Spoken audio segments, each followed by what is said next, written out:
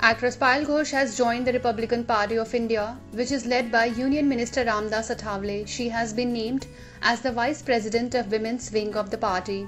In September, Payal leveled sexual harassment charges against filmmaker Anurag Kashyap. She also met Athawale, the Union Minister of State for Social Justice and Empowerment. At that time, Athawale tweeted extended support to the actress after the meeting, asking Mumbai police to immediately arrest Anurag Kashyap. According to Payal Ghosh arguments, Mumbai police should arrest Anurag Kashyap, otherwise we will protest soon, tweeted the politician. Subscribe to our channel. Just click on the bell icon for all the latest updates.